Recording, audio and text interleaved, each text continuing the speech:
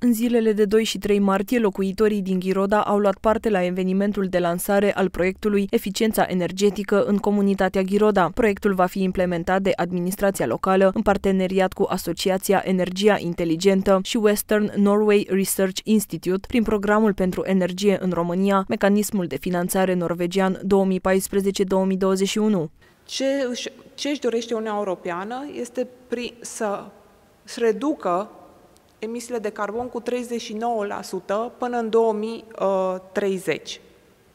Pentru asta se alocă bani în acest sens. Apar aceste apeluri de proiecte sau fonduri europene pe care atât uh, instituțiile publice cât și persoanele fizice le accesează în sensul să-și reducă aceste emisii de CO2. În cele două zile, participanții au primit informații utile referitoare la creșterea eficienței energetice în clădiri, cum pot reduce consumul de energie în imobile, utilizarea resurselor geotermale și beneficiile lor. S-a pus accentul pe conștientizarea surselor de energie regenerabilă, potențialul resurselor geotermale din comuna Ghiroda. Multe primării au accesat fonduri ca să facă să-și dezvolte infrastructura de uh, stații de, uh, stații de alimentare cu energie electrică a mașinilor.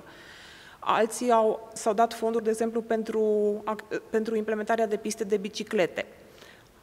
Asta înseamnă, de exemplu, mobilitatea urbană pe care se dorește să, să, nu, să nu mai fie folosite mașinile convenționale și să accesezi cât mai mult energia din surse regenerabile, energia electrică.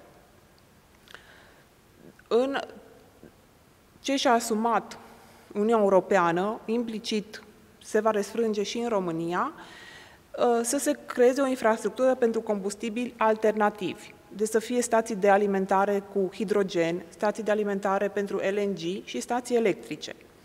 De, acestea, de, a, de asta se dau acești bani în Uniunea Europeană ca să-ți implementeze aceste facilități.